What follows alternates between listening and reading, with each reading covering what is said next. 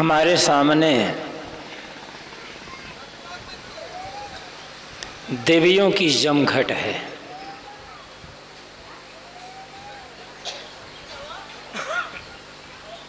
देवता तो कुछ लोग ही बैठे हैं यहाँ पर। ज़्यादातर देवता लोग कुर्सी पर बैठे हैं। अधिकार की भावना है ना? सदैव से पुरुषों में नारियों की अपेक्षा अधिकार की भावना रही है, वो जा नहीं रही है। किसी भी देवी के लिए यहाँ कोई कुर्सी नहीं रखी हुई। बूढ़ी भी होगी, कमर में दर्द भी करती होगी। लेकिन सारी कुर्सियाँ तो पुरुषों ने पकड़ रखी है। देवियों के लिए बचेगी कहाँ से?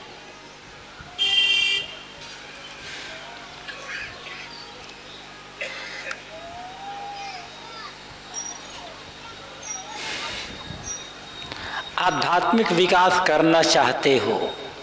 कोई हो। गृहस्थ हो, विरक्त हो।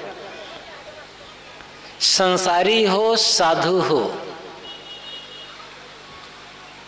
आध्यात्मिक विकास करना चाहते हैं। आत्मिक शांत और संतोष का अनुभव करना चाहते हैं तो अधिकार और अहंकार की भावना का त्याग करना होगा। अधिकार भावना, अहंकार भावना, ये दोनों धार्मिक विकास में भयंकर रोड़े हैं। सदुर कबीर की साखी है। चाखा चाहे प्रेम रस, राखा चाहे मान। एक म्यान में दो खड़ग, देखा सुना न कान। सदगुरु कबीर कहते हैं कि तुम आत्म प्रेम का रस चखना चाहते हो, भगवत प्रेम का रस चखना चाहते हो। कल्याण प्रेम का धर्मरस का प्रेम धर्म प्रेम का रस चखना चाहते हो और साथ साथ मान भी रखते हो कि मैं बड़ी जाति का, बड़ा धनवान, बड़ा कुलवान, बड़ा विद्वान, बड़ा पदवान, मैं बड़ा त्यागी, मैं बड़ा बैरागी, मैं बड़ा साधु, मैं गुरु, मैं बड़ा गुरु, मैं बड़ा महान, तब तुम्हारी ये भावना पूरी नहीं होगी। क्यों? सब उदाहरण देते हैं। एक म्यान में दो खड़ग, देखा सुना न कान। एक म्यान में, एक बार में एक ही तलवार रहेगी। एक म्यान में, एक बार में दो तलवार कभी भी नहीं जाएगी, कभी नहीं रह सकती है। पुराने जमाने में लड़ाइयाँ तलवार से हुआ करती थी। या धनुष से हुआ करती थी। ज़्यादा हो गया तो भाला। कबीर साहब का जमाना बंदूकें आ चुकी थी। लेकिन अधिकतम लड़ाई तीर तलवार भाले वर्षी से होती थी। साहब यहाँ उदाहरण देते हैं तलवार का, कि जैसे एक म्यान में एक बार में एक ही तलवार रहेगी, दो तलवार एक साथ नहीं रह सकती। इसी प्रकार, मन में या तो अहंकार रहेगा या प्रेम रहेगा। या तो अहंकार रहेगा या आपका परमात्मा रहेगा। या तो अहंकार रहेगा या तो शांति रहेगी। अनेक लोग कहते हैं महाराज, काफ़ी वर्ष बीत गए। पूजा करते, पाठ करते, भक्ति करते, सत्संग करते, ध्यान चिंतन करते। लेकिन आत्म शांति का अनुभव नहीं होता, आत्म साक्षात्कार नहीं होता।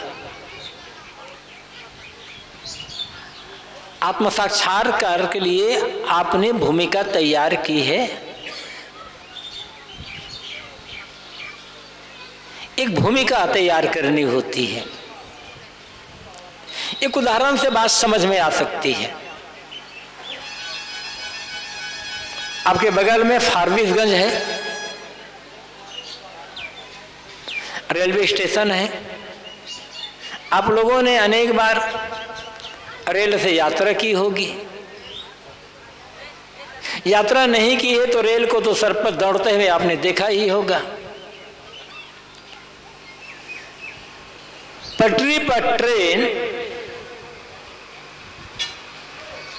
सरपट दौड़ती चली जा रही है। ट्रेन का ड्राइवर ट्रेन दौड़ाता चला जा रहा है। लेकिन ड्राइवर देखता है कि सिग्नल डाउन नहीं हुआ है। रेड सिग्नल है, सिग्नल डाउन नहीं हुआ है। ब्रेक लगाता है, ट्रेन को रोक देता है। कब तक? जब तक सिग्नल डाउन नहीं होता है। यात्री, प्लेटफार्म में ट्रेन की प्रतीक्षा कर रहे हैं कि जैसे ही प्लेटफार्म में ट्रेन आए और हम अपने डिब्बे पर बैठे, हमारी यात्रा सुरक्षित और आराम से पूरी हो जाए। लेकिन आप प्लेटफार्म स्टेशन प्लेटफार्म पर यात्रा ट्रेन ट्रेन की प्रतीक्षा करते करते बैठे हैं। पंद्रह मिनट, आधा घंटा, एक घंटा, दो घंटा बीत गए। ट्रेन खड़ी है बाहर। प्लेटफार्म पर ट्रेन नहीं आ रही है। क्यों? क्योंकि सिग्नल डाउन नहीं हुआ है। स्टेशन प्लेटफार्म पर सिग्नल, स्टेशन प्लेटफार्म पर ट्रेन तभी आती है जब सिग्नल डाउन होता है, बस यही बात हमारे जीवन के लिए लागू होती है। बहुत देर से पूजा कर रहे हैं, बहुत दिनों से भक्ति कर रहे हैं, बहुत दिन से ध्यान चिंतन भी कर रहे हैं, गुरु का सुमिरन भी कर रहे हैं, गुरु की सेवा भी कर रहे हैं, लेकिन आत्मा अनुभव नहीं हो रहा है, आत्मा साक्षात्कार नहीं हो रहा है। जिस आत्म शांति आत्म संतोष की अपेक्षा मन में थी और है, उसका अनुभव नहीं हो रहा है। क्यों? सिग्नल डाउन नहीं हुआ है। याद रखना, चाहे आत्मा कहो परमात्मा कहो ब्रह्म कहो आपकी मर्ज़ी जिस शब्द का प्रयोग करना चाहो, कर लो। ये हृदय रूपी प्लेटफॉर्म पर, अंतकरण रूपी स्टेशन पर आपके परमात्मा की गाड़ी तभी आएगी जब अहंकार का सिग्नल डाउन होगा। और अहंकार के सिग्नल को डाउन करना हमें पसंद ही नहीं होता है। दुनिया में हर आदमी को, चाहे साधु हो, चाहे गृहस्थ हो, नियम सबके एक बराबर होता है। साधु और गृहस्थ की मर्यादा अलग अलग हो सकती है, लेकिन दोनों मनुष्य हैं बस। साधु अपने ढंग से काम कर रहे हैं, गृहस्थ अपने ढंग से काम कर रहे हैं। यदि साधु साधना मार्ग में चल रहा है ईमानदारी पूर्वक साधना कर रहा है ईमानदारी पूर्वक त्याग बैराग के पद पर चल रहा है ईमानदारी पूर्वक समाज की सेवा कर रहा है तो साधु बड़े हैं। और गृहस्थ, घर गृहस्थी में रहते हुए, आपस में प्रेम, समता, एकता से मिलजुल करके रहते हुए यथा संभव धर्म भक्ति के मार्ग पर चल रहे हैं, सेवा भक्ति के मार्ग पर चल रहे हैं, कुछ कर रहे हैं तो गृहस्थ भी अपनी जगह पर बड़े हैं। दोनों का अपनी अपनी मर्यादा है, दोनों का अपनी अपनी श्रेणी है, दोनों का अपना कर्तव्य है। मैं बात ये कर रहा हूँ चाहे स्त्री हो, चाहे पुरुष हो, चाहे साधु हो, चाहे गृहस्थ हो। दुनिया में आदमी को सबसे प्यारा कुछ है, सबसे प्यारा कुछ है। तो अपना अहंकार सबसे प्यारा है। न पत्नी प्यारी है, न पति प्यारा है, न गुरु प्यारा है, न चेला प्यारा है प्यारा है सबसे ज़्यादा अहंकार। पति पत्नी में विवाद क्यों होता है? केवल अहंकार के कारण। गुरु शिष्य में विवाद क्यों होता है? अहंकार के कारण। भाई भाई में विवाद क्यों होता है? अहंकार कारण। और एक चीज़, अधिकार। जहाँ अधिकार और अहंकार है, वहाँ विवाद के सिवा और क्या होगा? चाहे राजनीति का क्षेत्र हो, चाहे सामाजिकता का क्षेत्र हो, चाहे धार्मिकता का क्षेत्र हो। ये धर्म के नाम पर जो लड़ाइयाँ होती है, हिंदू मुसलमान को लेकर या किसी और को लेकर के, मूल में है अहंकार कि हम, तुमसे हम ज़्यादा बड़े धार्मिक आदमी हैं, हमारा भगवान तुमसे, तुम्हारे भगवान से बड़ा है। भूल जाते हैं लोग। एक और कहते हैं, भगवान तो एक है, लेकिन सभी धर्म वालों ने अपना अपना भगवान बना लिया है। और किसी का भगवान किसी से पीछे रहना नहीं चाहता। ये अपना अपना बनाया हो भगवान है ना? ये भगवान ही लड़ाई के, के कारण बन गए हैं। जिस दिन आदमी असली भगवान को समझ लेगा असली धर्म को समझ लेगा लड़ाई नहीं होगी। हमारा भगवान बड़ा हम ही भगवान के बड़े पुजारी हम ही भगवान के बड़े भगत हम ही अल्लाह के बड़े भगत। लड़ाई तो होनी ही होनी है क्योंकि हम हम जहाँ होगा। वहाँ लड़ाई होगी। और अहंकार को हम, ये बहुत प्यारा होता है। झुकना नहीं जानता है अहंकार। और जो झुकना ही नहीं जानता, उसे आत्मा साक्षात कहाँ से होगा? आत्मा अनुभव कहाँ होगा? उसे परमात्मा का अनुभव कहाँ? वो जान भी नहीं सकता। अहंकारी आदमी दुनिया का हर काम कर सकता है। अहंकारी आदमी भक्ति नहीं कर सकता, क्योंकि तो भक्ति में विनम्रता की आवश्यकता होती है, सहजता की आवश्यकता होती है, सरलता की आवश्यकता होती है, और अहंकारी आदमी झुकना नहीं जानता, सहज और सरल होना नहीं जानता। इसलिए भक्ति भी कर रहे हैं और दुखी है भीतर से। ध्यान भी कर रहे हैं, दो दो घंटा ध्यान में बैठते हैं। कहते महाराज, नींद नहीं आती। कहाँ से नींद आएगी? कि अहंकार का सिग्नल डाउन कहाँ कर रहे हो ना? ऐसे हर आदमी को समय निकाल करके, समय मिलने पर नहीं, समय तो कभी मिलेगा नहीं, समय निकालना होगा। और हर आदमी को, चाहे स्त्री हो, चाहे पुरुष, चाहे साधु, चाहे गृहस्थ समय निकालकर हर आदमी को प्रतिदिन कुछ न कुछ ध्यान का अभ्यास करना चाहिए। ध्यान ही वो मार्ग है, ध्यान ही वो उपाय है, जहाँ हम अपने आप से जुड़ते हैं। बिना ध्यान से हम अपने आप से जुड़ नहीं सकते, और अपने आप से जुड़ना ही मानो, आत्मा से जुड़ना है, परमात्मा से जुड़ना है, ब्रह्म से जुड़ना है। जो आदमी अपने आप को नहीं समझ सकता, वो परमात्मा को क्या समझेगा? जो आदमी अपने आप को नहीं समझ सकता, वो भगवान को, ईश्वर को ब्रह्म को क्या समझेगा? यात्रा कहाँ से शुरू होगी? यात्रा का केंद्र बिंदु क्या है? ये तो समझना होगा ना? लोग पूछते हैं पराया, महाराज परमात्मा कहाँ मिलेगा और कैसे मिलेगा?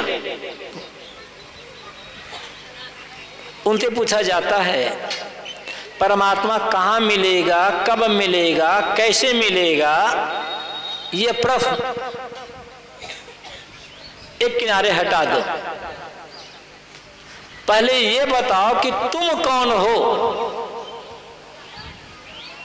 कहते, मैं? मैं तो कुछ भी नहीं हूँ, मुझे तो कुछ मालूम नहीं है। जब तुम कुछ भी नहीं हो तो परमात्मा किसे मिलेगा? तुम्हें यह भी मालूम नहीं है कि मैं कौन हूँ तो परमात्मा को खोजने वाला कौन है? परमात्मा मिलेगा कैसे? किस आधार पर आएगा वो? इसलिए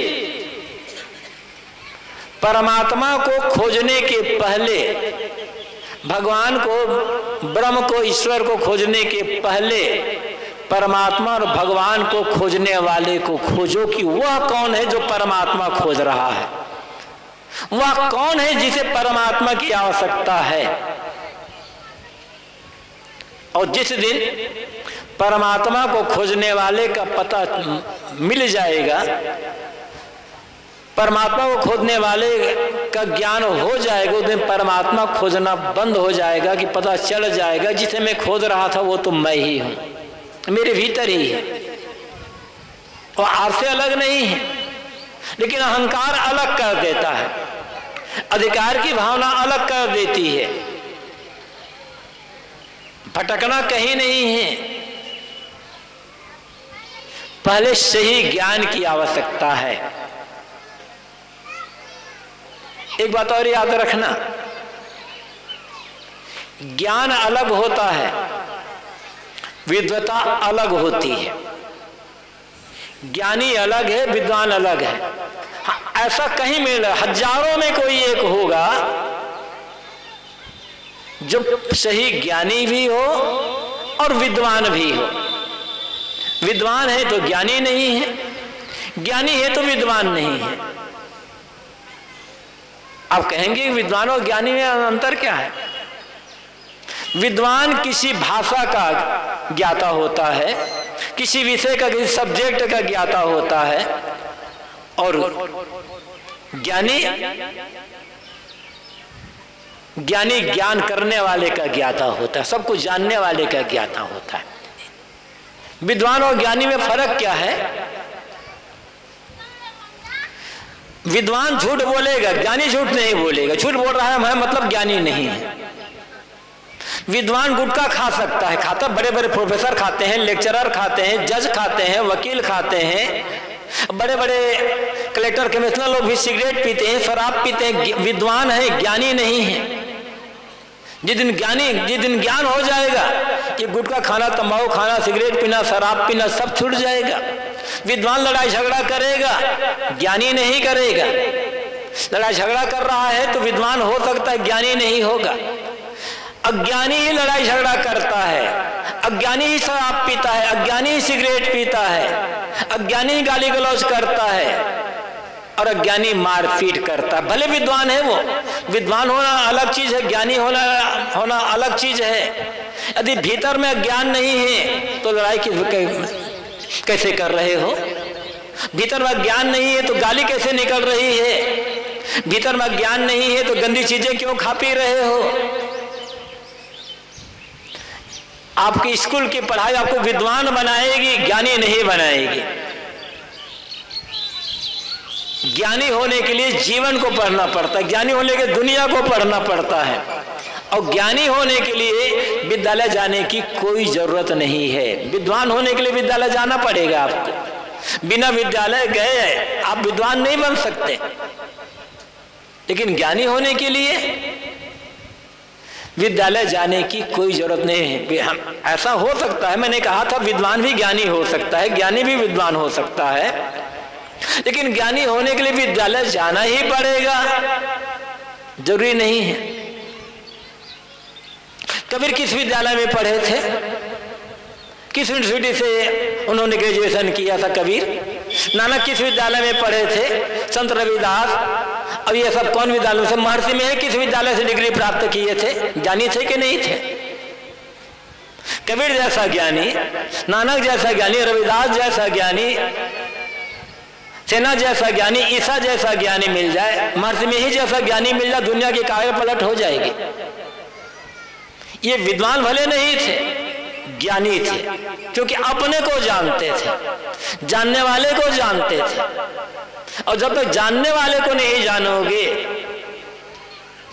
भटकाव दूर नहीं होगा, भ्रम दूर नहीं होगा बड़े बड़े विद्वान हैं। अच्छे अच्छे प्रोफेसर हैं, बड़े, पता नहीं प्रोफेसर क्या नाम पता इंजीनियर है, वकील है। अब पता नहीं बड़े बड़े डॉक्टर हैं। यहाँ ताबीज बांधे, यहाँ ताबीज बांधे, यहाँ ताबीज बांधे, अकल नहीं है इन लोगों को। कि ताबीज बांधने से क्या हो जाएगा? इतना डरा हुआ है मन, इतने भ्रम में पड़ा हुआ है मन। बड़े बड़े विद्वान बड़े बड़े प्रोफेसर यहाँ तक, फिजिक्स के प्रोफेसर केमिस्ट्री के प्रोफेसर, हाथों की अंगुलियों में अंगूठियाँ पहने हुए हैं कि आकाश में जो ग्रह घूम रहे हैं, यहीं से हम उसको संचालित करते रहेंगे। अकल नहीं आ रही है। ये जो आकाश में ग्रह घूम रहे हैं शनि है मंगल है राहु केतु है हमारी पृथ्वी से करोड़ों किलोमीटर दूर है। अंगूठी पहनने से उसकी चाल में, में फ़र्क कैसे हो जाएगा? ग्रह टेढ़ा हो गया तो अंगूठी पहनने से वो सीधा कैसे हो जाएगा? ग्रह टेढ़ा हो गया, पुरोहित पंडित कहते हैं, ज्योतिषी कहते हैं, साधु बाबा कहते हैं, तुम्हारे पास ग्रह टेढ़ा है, इसलिए तुम पर दुख रही है, पूजा करवा लो। पूजा करवा करके आप जलते हुए बल्ब को बुझा दो, हम मान लेंगे कि वो ग्रह भी सीधा हो जाएगा।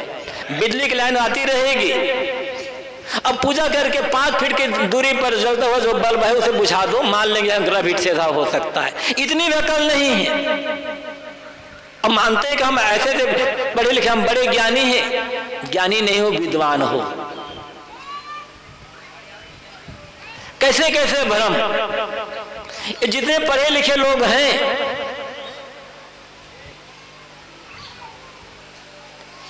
देहातों में भी है, शहरों में भी आजकल मैं देखता हूँ, आप लोग भी देखते हो, आप लोग करते भी होगे।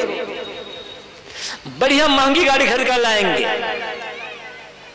पंद्रह लाख, बीस लाख, पच्चीस लाख, तीस लाख, चालीस लाख, पैंतालीस लाख, पचास लाख की गाड़ी खरीद करके लाएँगे। अच्छी कंपनी की गाड़ी है। इंजन मज़बूत है।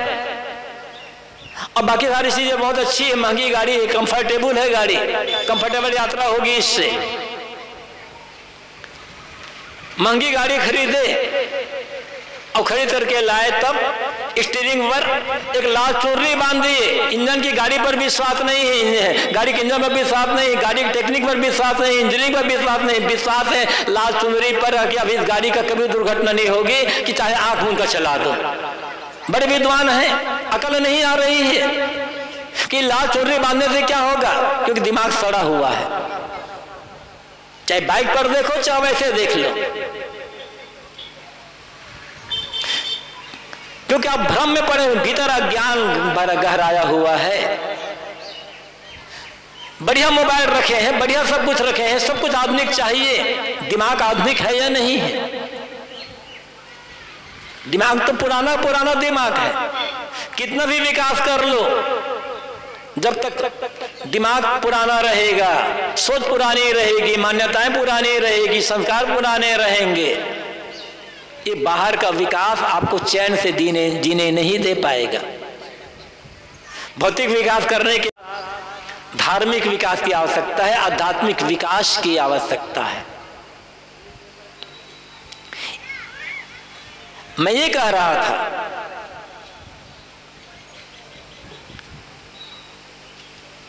कि परमात्मा को खोजने के पहले परमात्मा को खोजने वाले को खोजो कि वह कौन है जो परमात्मा को खोज रहा है।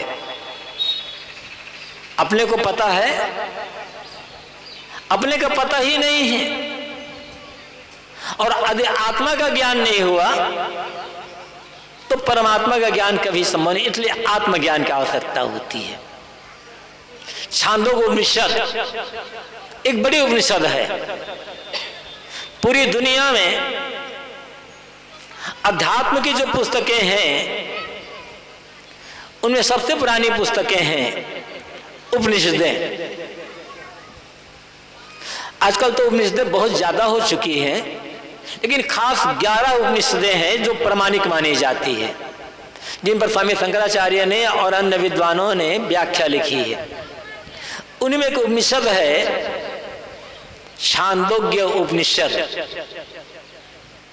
बहुत महत्वपूर्ण उपनिषद है। जो पुस्तकों का स्टॉल लगा हुआ है, उसमें हमारे गुरुदेव की लिखी पुस्तक है, उपनिषद सौरभ। ग्यारह उपनिषद से छांट करके सार भाग। हिंदी में लिख दिया गया है कि कोई भी पढ़ सकता है, अब खास खास मंत्रों को नीचे टिप्पणी में दे दिया गया है। वो छांदो उपनिषद में एक कथा आती है। नारद और सनत कुमार की। नारद जाते हैं सनत कुमार के पास और कहते हैं, भगवान, मैंने सुना है कि जो आत्मवेत्ता पुरुष होते हैं, आत्मज्ञानी जो पुरुष होते हैं, वे शोक नहीं करते। उनके मन से शोक दूर हो जाता शोक मुक्त वे हो जाते हैं। भगवान, मैं शोक करता हूँ, क्योंकि मैं आत्मवेत्ता नहीं हूँ। आप मुझे आत्मज्ञान दे करके शोक से पार्क लगा दें। तो सनत कुमार ने कहा, है नारद से, नारद, पहले तुम ये बताओ कि तुम क्या जानते हो? तुम जिन बातों को जानते हो, उन्हीं को मैं फिर से रिपीट करूँ तो समय की बर्बादी होगी। इसलिए पहले ये बताओ कि तुम क्या क्या पढ़े हो, क्या जानते हो? तो नारद कहते हैं, भगवान, मैंने चारों वेदों को पढ़ा है, वेदांगों को पढ़ा है, ज्योतिष शास्त्र पढ़ा है, आयुर्वेद शास्त्र पढ़ा है, सर्व विद्या, नृत्य विद्या, गंधर्व विद्या, और अनेक आप वहाँ देखिएगा छांदो मिश्र पढ़ करके एक लंबी सूची प्रस्तुत करते हैं नारद ये ये मैंने पढ़ डाला है। अब कहें तो आज की भाषा में कहें तो तमाम विषयों को वो समेटते हैं। इतना मैंने पढ़ा है, लेकिन मैं शोक करता हूँ। मेरे मन में शोक होता है। तब नारद की बात सुनकर सनत कुमार कहते हैं, सनत नारद तुमने तो केवल संज्ञा को रटा है, नाम को रटा है। पुस्तकों में क्या है? नाम, संज्ञा। शब्द ही तो वर्ड से ही तो है उसमें। जो जितने भी नाम हैं, उन नाम के द्वारा किसी वस्तु का बोध होता है बस। नाम बड़ा नहीं होता। व्यवहार चलाने के लिए नाम रखना पड़ता है। जितने मनुष्य हैं, यदि किसी का कोई नाम ना रखा जाए तो कैसे चलेगा? हमने कहा भी बुला लाओ। अब किसको बुला कर लाएगा? तो एक नाम रख दिया गया। कोई चीज़ चीज़ है तो समझने के लिए उसका नाम रख दिया गया। लेकिन नाम महत्वपूर्ण नहीं होता है। महत्वपूर्ण वस्तु होती है। हम, जिसे पानी कहते हैं आप सब जानते हैं, अंग्रेज़ी में उसे उसे वाटर कहते हैं, अरबी, उर्दू में उसे वाव कहते हैं, आब कहते हैं, संस्कृत में नीर कहते हैं, जल कहते हैं। और आप लोगों को यह जानकर आश्चर्य होगा कि हमारे पूर्वज हज़ार साल पहले, हज़ार डेढ़ साल पहले भारत में कोई पानी नहीं पीता था। लोग जल पीते थे। नीर पीते थे, क्योंकि संस्कृत भाषा में पानी शब्द ही नहीं है। नीर है जल है, आप है, पानी शब्द ही नहीं है। तो शब्द तो बदल गए, लेकिन वस्तु क्या बदल गया? नीर कहो तो नीर आब वाब, वाटर, पानी। या कोई और शब्द को लो, वस्तु तो वही वही रहेगी ना। इसलिए नाम को लेकर झगड़ लगाने झगड़ने की आवश्यकता नहीं है। और धर्म के नाम पर अक्सर लोग लड़ाई करते हैं नाम को लेकर के। एक ने अल्लाह कहा, एक ने ईश्वर कहा, एक ने खुदा कहा, एक ने परमात्मा कहा, एक ने राम कहा, एक ने रहीम कहा, एक ने करीम कहा, एक ने केशव कहा। अंतर क्या हुआ? इले कबीर साहब कहना पड़ा कि, भाई रे, दुई जगदीश कहाँ ते आया, को, कौने बौराया अल्लाह राम करीमा केशव हरि हज़रत नाम धराया। गहना एक कनकते गहना यामे भाव न दूजा। कहन सुनन को दुई कर थापे, एक निमाज, एक पूजा। वही महादेव, वही मोहम्मद ब्रह्मा आदम कहिए को हिंदू को तुरुक कहावे, एक जिमी पर रहिए वेद किते पढ़े वे कुतबा वे, मुलना वे पाड़े। बेगर बेगर नाम धरा एक मिट्टी के भाड़े। मिट्टी वही है। कुम्हार उसे कैसे कर? प्याला बना दिया, किसी का घड़ा बनाया, किसी का दीपक बनाया, किसी मिट्टी तो वही है। ना आकार के हिसाब से रूप के आधार पर नाम बदल गया। ऐसे ही शक्ति तो वही है। आप पकड़ कर उनको बैठा दें। उठ जाइए। ये बेटा उठ कर इनको आराम से बैठा दो।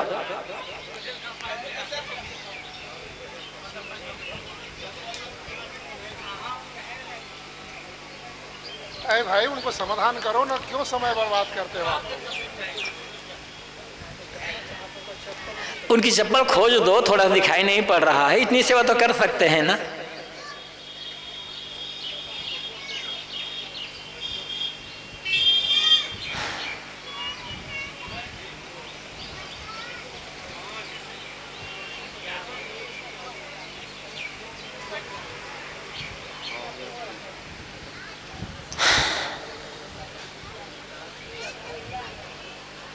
मैं कह रहा था कि नाम बदलने से वस्तुमंतर नहीं होगा।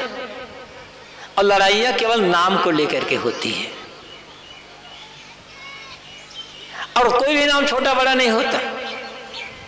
लेकिन सभी मज़हब वालों ने अपने अपने नाम को बना रखा है एटम बम। वो कहता, हमारा नाम जपो, तुम्हारा सारा पाप भस्म हो जाएगा। कहता, हमारा नाम जपो, तुम्हारा पाप भस्म हो जाएगा, तुम्हारा नाम सारा नाम जपो। नाम जपने से क्यों भी नाम आप जपते हो?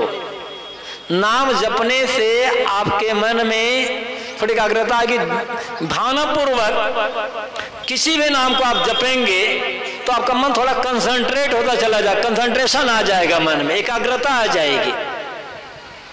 नाम चाहे जो भी हो लेकिन नाम जपने से पाप कटेगा, धोखा है।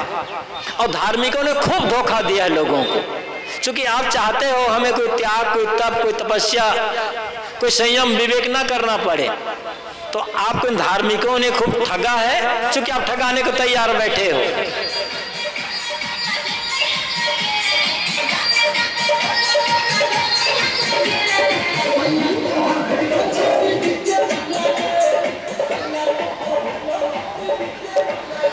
आपको जिस नाम में श्रद्धा हो वह नाम आप जपें।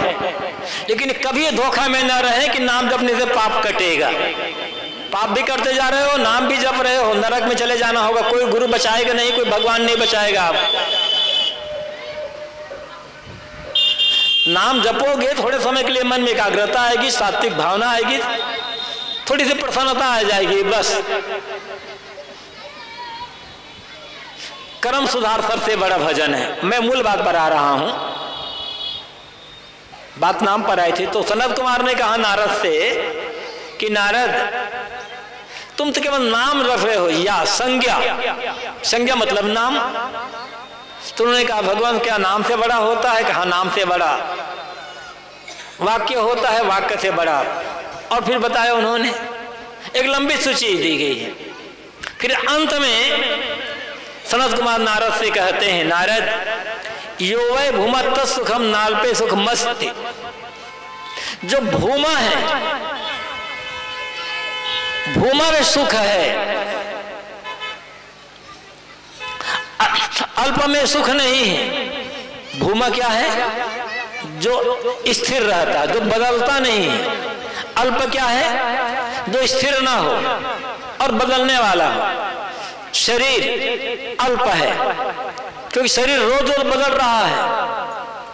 अब स्थिर भी नहीं रहेगा। एक दिन शरीर जन्मा, एक दिन शरीर मर जाएगा, लेकिन शरीर के भीतर जो जीव है, वो भूमा है, वो नहीं बदला है, वो नहीं मरेगा।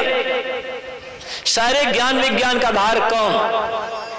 सारे कला कौशल का धार कौन? सारे मतपंथ का धार कौन? मनुष्य के भीतर जो चेतना है, जो जीव है, वही है। दुनिया में यदि मनुष्य प्राणी ना होता तो न मंदिर होता, न मस्जिद होती। आकाश से आकर के किसी भगवान खुदा ने मंदिर मस्जिद नहीं बनाया है, आदमी ने बनाया है। आदमी ना होता दुनिया में तो कोई देवता भी नहीं होता, क्योंकि सारे देवता आदमी के दिमाग से निकले हुए हैं। नए नए देवता आदमी पैदा कर लेता है। चंद्रमा में वैज्ञानिक पहुँच गए हैं। मैंने कल कहा था आदमी वहाँ पहुँच गए बहुत पहले हमारे वैज्ञानिक, और कोशिश ये हो जा रही, की जा रही है कि चंद्रमा में आदमी की बस्ती बनाई जाए। प्रयास जारी है। चंद्रमा में वैज्ञानिक पहुँच गए हैं, लेकिन चंद्रमा में कोई भगवान नहीं है, क्योंकि आदमी नहीं है। जिस आदमी पैदा वहाँ पहुँच जाएगा ना, वहाँ एक नया भगवान खड़ा कर लेगा, नया भगवान को जन्म दे देगा। सारे भगवान को जन्म देने वाला इंसान है, क्योंकि इंसान को आवश्यकता है। इंसान की सारी जो इच्छाएँ है आवश्यकता है वो पूर्ति नहीं हो रही है। आदमी मन में इच्छाएँ तमाम है। और आदमी कर्म करना नहीं चाहता। आदमी सोचता, कुछ है, होता कुछ है। तो मान लेता है कि कोई एक अदृश्य शक्ति है, जिसके कारण हमारी इच्छा पूरी नहीं हो रही थी उसको भगवान नाम दे दिया कुछ और नाम दे दिया, अब उस अदृश्य शक्ति को पूजा करो, पाठ करो, अखंड कीर्तन करो, नाम जपो, खुशामद करो, ताकि वो खुश हो जाए। ये खुशामद करते करते ज़िंदगी बीत जाएगी, कोई भगवान खुश होने वाला नहीं है, कोई सुनने वाला ही नहीं है। भीतर भगवान बैठा। मैं कह रहा था, आदमी यदि दुनिया में ना होता तो कला कौशल ना होता, ज्ञान विज्ञान ना होता, देवी देवता ना होते, मंदिर मस्जिद ना होते, और तब ये लड़ाई भी ना होती।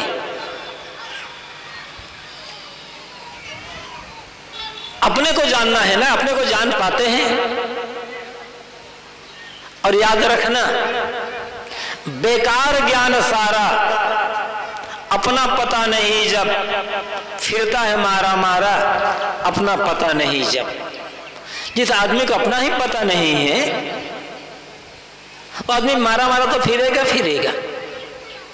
पद्म पुराण में एक श्लोक आता है शिव जी पार्वती से कहते हैं, कलवाया गया है इदम तीर्थम इदम तीर्थम भ्रमंति तामसा जन। आत्म तीर्थम ना जाना कथम मोक्ष प्रिय। शिव पार्वती से कहते हैं कि ये प्रिय पार्वती, सुनो। ये जो तामसी लोग हैं, मूढ़ लोग हैं इस तीर्थ में भगवान मिलेगा इस तीर्थ में भगवान मिलेगा इस तीर्थ में नहाने से पाप कटेगा। ऐसा कह करके यहाँ वहाँ तीर्थों में भटक रहे हैं। जब तक आदमी आत्म तीर्थ को नहीं जानेगा, अपने आप को नहीं जानेगा, तब तक इनका कभी कल्याण मोक्ष नहीं हो सकता है। अब तीर्थों में जाएँ। जाना चाहिए। कई तीर्थ में आप जाएँ, जाएँगे तो वहाँ अनेक क्षेत्र के लोग आए रहेंगे, उनसे जान पहचान होगी। जान पहचान होगी, मेल मुलाकात होगी, राष्ट्रीय भावना बढ़ेगी। घर के जो कला है घर के जो काम काज है, थोड़ा मन उब गया है तो मन को थोड़ी सी शांति मिलेगी। संत मिलेंगे, महात्मा मिलेंगे तो ज्ञान सुनने को मिलेगा। तीर्थ में जाना चाहते हो, जाएँ, लेकिन आप तीर्थ में जाते हैं कि तीर्थ में जाएँगे, नहाएँगे तो हमारा पाप कटेगा तो धोखे में है आप। तीर्थ में लोग क्योंकि हम प्रयागराज में रहते हैं, संगम और प्रतिवर्ष वहाँ माघ मेला लगता है। जैसे कुंभ मेला लगता है ना, उसी तरह से वहाँ हर हर वर्ष माघ मेला लगता है। कुंभ मेला थोड़ा बड़ा हो जाता है बहुत विस्तार से। और माघ मेला छोटा लेकिन छोटा मतलब ये मत समझे बहुत छोटा होता है। कम से कम पंद्रह किलोमीटर के दायरे में होता है हर, हर वर्ष। हमारा भी कैंप लगता है छोटा सा वहाँ पर। लाखों लोग आते हैं कि अमुक तिथि को संगम स्नान करेंगे तो पाप कट जाएगा। पता नहीं उन लाखों लोगों में से लोग गंगा में नहाया। कितने का पाप कटा? मालूम ये नहीं, लेकिन हज़ारों की जेब कटती है बराबर। सावधान नहीं रहोगे ना? पाप तो कटना ही नहीं है। सावधान नहीं रहोगे तो जेब ज़रूर कटेगी। इसलिए तीर्थ में जाओ तो सावधान हो रह करके जाना। पाप कट गए, तीर्थ में आगे पाप कट कैसे माने जाए, वही गंगा है। नहा कर निकले हैं। कपड़े सूखे नहीं है, तंबाकू लगाना शुरू कर दिया। पाप छूट गए तुम्हारे। अरे गंगा से नहा करके निकलो, गया से नहा करके निकलो। काम की भावना दूर हो जाए क्रोध दूर हो जाए, लोभ दूर हो जाए, मोह दूर हो जाए, झूठ बोलना दूर हो जाए, समझना पाप कटा। वही द्वेष, वही राग, वही मोह, वही माया, वही कला मन में, कौन सा पाप कटा आपका? जो तीर्थ आपको तंबाकू नहीं छोड़वा पा रहा है, जो तीर्थ आपको गाली देना नहीं, छोड़ा पा रहा है, वो तीर्थ आपका पाप कैसे का काट देगा? और तीर्थ में नहाते हो तो शरीर धुलता है या मन धुलता है? पाप का शरीर में चिपका हुआ है, कोई मैल है पर है, पाप? पाप तो मल में है। और नहा रहे हो, गंगा में नहा करके धो रहे हो शरीर को, पाप कैसे कटेगा? जब ज्ञान की बातें समझोगे, और ज्ञान की बातों के जीवन में आचरण करोगे गलत कर्म करना छोड़ दोगे तो पाप कटेगा। पाप पाप क्या है? मन की जो विकार है, मन की जो गंदगी है, मन के जो गलत चिंतन है यह पाप है। अभी तीर्थ में नहाने से नहीं कटेगा। हाँ ये ज़रूर कहा गया है कि सत्संग तीर्थ में नहाओ, लेकिन तब नहा करके जो बातें बताई गई है उनका जीवन में आचरण करे तब। सुनने मात्र से, मैं कह रहा हूँ तो मेरा पाप नहीं कटेगा। आप सुन रहे हैं तो आपके पाप नहीं कटेगा। ये जो व्यवहार है, कहने वाला और सुनने वाला, दोनों ज्ञान की बातों का जब जीवन में आचरण करेंगे, तब पाप कटेगा। और ज्ञान की बातों का जब जीवन में आचरण करेंगे, व्यवहार हमारा प्रेम पूर्ण हो जाएगा। तब आपका ध्यान सही लग पाएगा। लोग कहते हैं, महाराज, ध्यान तो लगाते हैं, लेकिन मन ठहरता नहीं है। ठहेगा कहाँ से? घर वालों से झगड़ा करके आए हो, पत्नी से, पति से, सास से, बहू से, बेटा से, पड़ोसी से झगड़ा करके आए हो। किसी की धोखा दे करके आए हो, ध्यान लग जाएगा। धोखा में क्यों रहते हो? पहले व्यवहार सुधारना पड़ेगा। पहले कर्म सुधारना पड़ेगा, तब ध्यान लगेगा। दो चीज़ें। एक है प्रेम और एक है ध्यान। जिसके मन में दूसरों के लिए जितना प्रेम होगा, अब प्रेम पूर्ण व्यवहार से जिसने अपने अंतकरण को परिमार्जित कर लिया होगा, उसी आदमी का ध्यान लगेगा। प्रेम। और प्रेम में क्या अर्थ होता है? देना।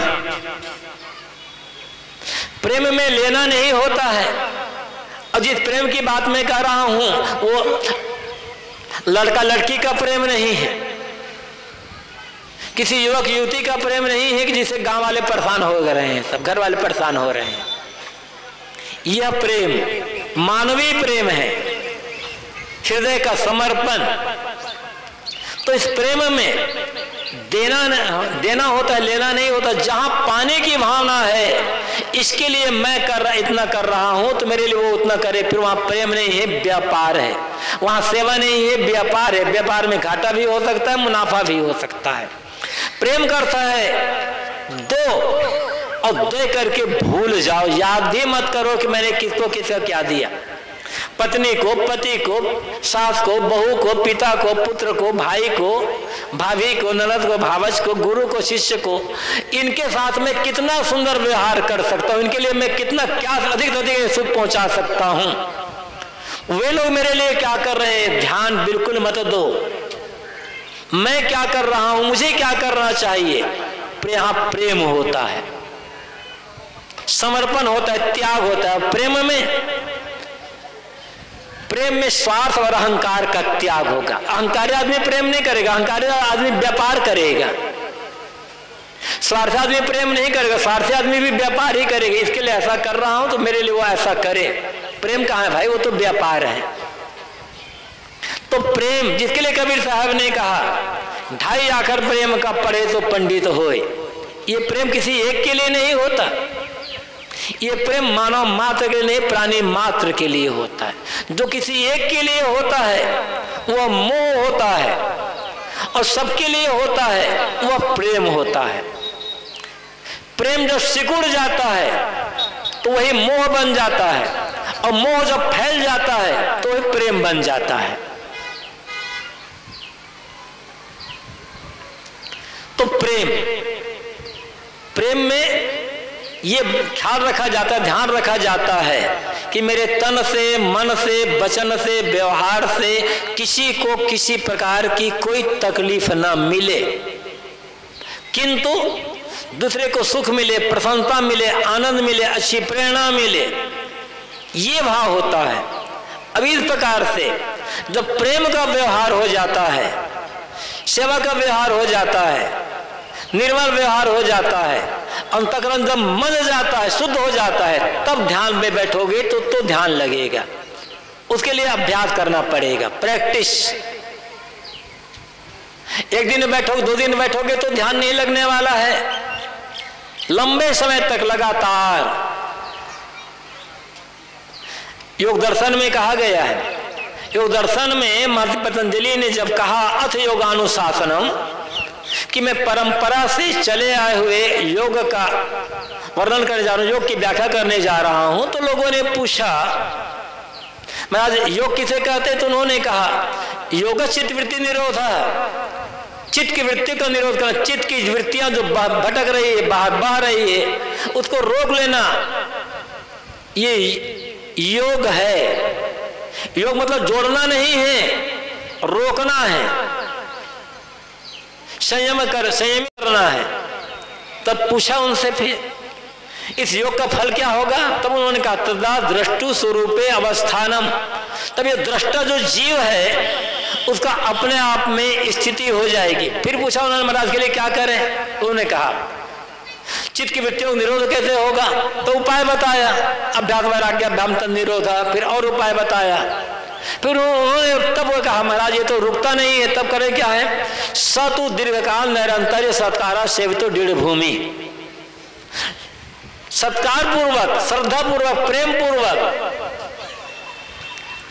लंबे समय तक और निरंतर ध्यान में प्रेम हो, समर्पण हो, निरंतरता हो और लंबे समय तक किया जाए। तब वो ध्यान लगेगा, तब वो मन रुकेगा। उसके पहले मैंने कहा था, जब तक मन कोमल नहीं बनेगा, और मन कोमल बनने के लिए प्रेम चाहिए। प्रेम के लिए स्वार्थ, अहंकार का त्याग चाहिए। स्वार्थ, जब प्रेम से हम दुनिया से जुड़ते हैं, लोगों से जुड़ते हैं, और ध्यान से हम अपने आप से जुड़ते हैं। कबीर साहब जिस परमात्मा की बात कहते हैं, वो परमात्मा। कबीर साहब का परमात्मा बाहर भी है, भीतर भी है। कबीर साहब का सगुन परमात्मा मंदिर में नहीं है, चित्र में नहीं है, मूर्ति में नहीं है। कबीर साहब का सगुन परमात्मा यहाँ हमारे सामने बैठे हुए आँख न मूंदो, कान न रूंधो काया, कष्ट न धारो। खुले नैन हंस हंस पहचानो सुंदर रूप निहारो साहब, देखो इस सामने प्रत्यक्ष सगुन परमात्मा बैठे हुए हैं। इससे बड़ा सगुन परमात्मा कौन मिलेगा? जो खाता नहीं है पीता नहीं है, बोलता नहीं है, चलता फिरता नहीं है, प्रणाम करे तो उसे आशीर्वाद नहीं देता, कहते वो सगुन परमात्मा है। अरे सगुन परमात्मा ये है, खाता है, पीता है, बोलता है, चलता है, प्रणाम करो तो आशीर्वाद देता है, क्रोध भी करता है, गुस्सा भी करता है, क्षमा भी करता है, प्रेम भी जो करता है, ये सगुन परमात्मा प्राण, कबीर साहब का। इनके लिए प्रेम, सेवा। इससे बढ़कर के परमात्मा कहा मिलेगा आपको? वास्तविक परमात्मा ये है, सबसे बड़ा परमात्मा। गीता में श्री कृष्ण ने अर्जुन को दिखाया है विराट स्वरूप दर्शन। इससे पहले वास्तविक विराट स्वरूप का वर्णन आता है ऋग्वेद में। सहस्र शीर्षा पुरुषा साक्षा, सहस्रपाद। सब भूमि विश्वतो वृत्वात अतिष्ठ दशांगुलम। एक ऋग्वेद का एक मंत्र है। ऋषि कहते हैं वो जो विराट पुरुष परमात्मा है, उसके हज़ारों सिर है, हज़ारों आँखें हैं, हज़ारों हाथ पैर है। ऐसा कौन सा विराट पुरुष परमात्मा है जिसका हज़ारों सिर हो हज़ारों आँखें हैं, हज़ारों हाथ पैर हैं? ये विराट पुरुष परमात्मा। प्राणियों का समूह। ये तो हमारे सामने तो प्राणियों का समूह दिखाई पड़ रहा है ये विराटपुर परमात्मा है। करोड़ों सिर करोड़ों हाथ, पैर करोड़ों आँखें। ये विराटपुर परमात्मा, ये कबीर साहब के भी कहते हैं, ये सगुन परमात्मा है। लेकिन ऋषि क्या कहते हैं परमात्मा के लिए?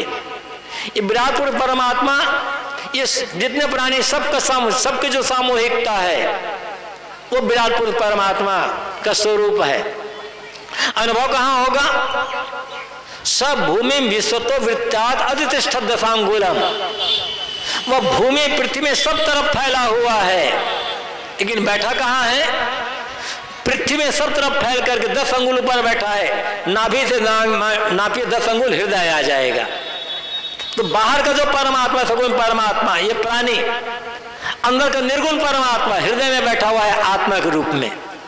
कबीर साहब कहते हैं ये जो बाहर का परमात्मा है इसके लिए प्रेम सेवा इस तभी पर प्रेम पूर्वक सेवा करना इसको सगुण परमात्मा की भक्ति है।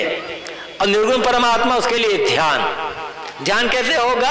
अनासक्ति से। प्रेम करो, सेवा करो, लेकिन अनासक्त होकर के, निष्काम होकर के जब सेवा करोगे, निष्काम होकर के जब प्रेम का व्यवहार करोगे तो चित्त शुद्ध हो जाएगा। तब वहाँ निर्गुण जो परमात्मा है जी के रूप में, जो अपने आत्मा, अपना स्वरूप, भाव है, उसको समझ में आ जाएगा। तो सगुण परमात्मा के लिए प्रेम, निर्गुण परमात्मा के लिए ध्यान। प्रेम से हम दुनिया से जुड़ते हैं और ध्यान से अपने आप से जुड़ते हैं। और जो अपने आप से जुड़ गया, जो अपने आप को पा लिया, मानो परमात्मा को पा लिया, क्योंकि आत्मा, परमात्मा अलग अलग नहीं है, ये डिग्रियाँ हैं बस।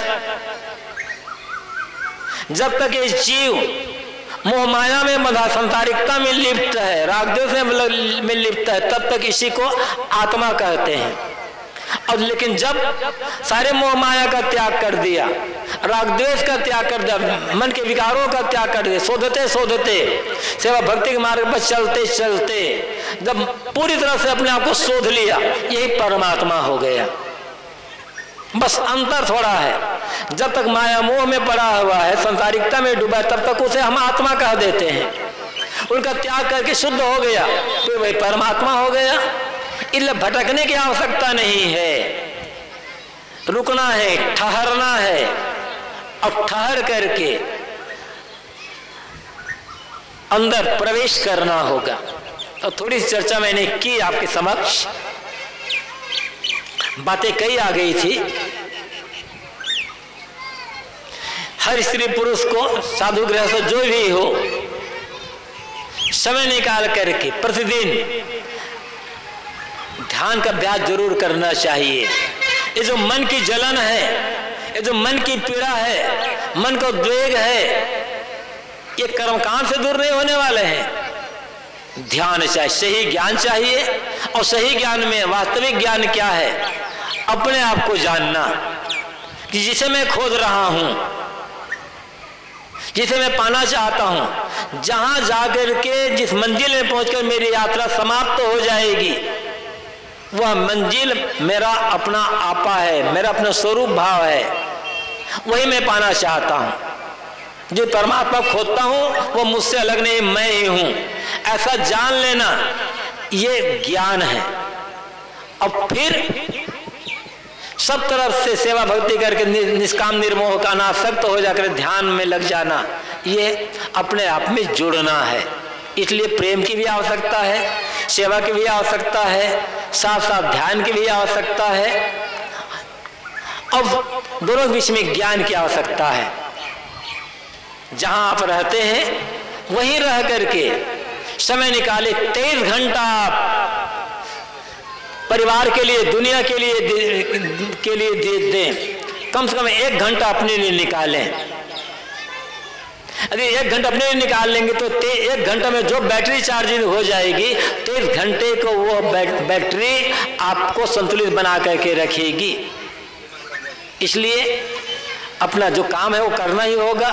समय निकालो, ध्यान में बैठो, अभ्यास करो, सही बात को समझो, और मन से आग देश का त्याग करके आत्मा से जुड़ो, यहीं जाकर के हमारी यात्रा समाप्त तो होगी और हमारी मंजिल हमें मिल जाएगी। सारे जलन, सारी जलन, सारी पीड़ा समाप्त होकर परमानंद, परम शांति का अनुभव होगा। यहाँ आकर के ये मानव जीवन पाना सार्थक हो जाएगा। आप लोगों ने मेरी बातों को ध्यान से सुना, बहुत बहुत आभार। और सबके लिए शुभकामनाएँ हैं। आप इतनी देर तक बैठे हुए हैं, आपके मन में संतों के प्रति, आत्मकल्याण के प्रति, आत्मनिष्ठा के प्रति प्रेम है, भावना है, श्रद्धा है। आप लोगों की श्रद्धा, आप लोगों की निष्ठा, आप लोगों का प्रेम उत्तरोत्तर बढ़ता रहे। और संतोष की संगति में जुड़ करके सेवा भक्ति करते हुए अपनी मंजिल तक पहुँचे, आत्म शांति, आत्म संतोष अनुभव करें। इन्हीं शुभकामनाओं के साथ पुनः धन्यवाद देते हुए अपनी वाणी को यहीं पर विराम।